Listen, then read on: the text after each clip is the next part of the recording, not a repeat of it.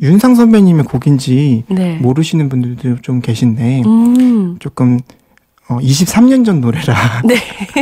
23년 전 노래. 네, 어떤 곡이에요?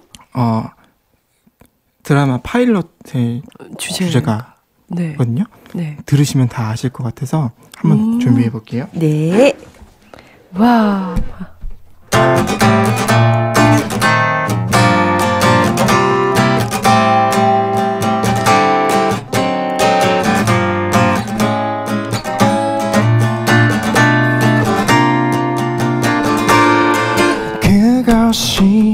끝이라고 우린 믿지 않았지.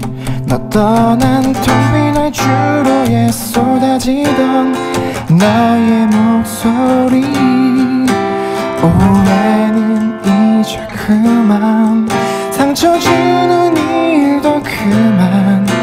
아무런 생각을 하지 말고 내게 달 려와줘. 너를 뜨겁게 안고서 두 팔이 날개가 되어 언젠가 내게 약속했던 저달로 우리 푸른 꿈 싣고서 한없이 날아오르게 사랑해 너를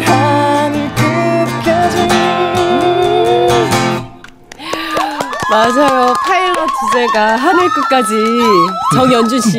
네 맞아요 네.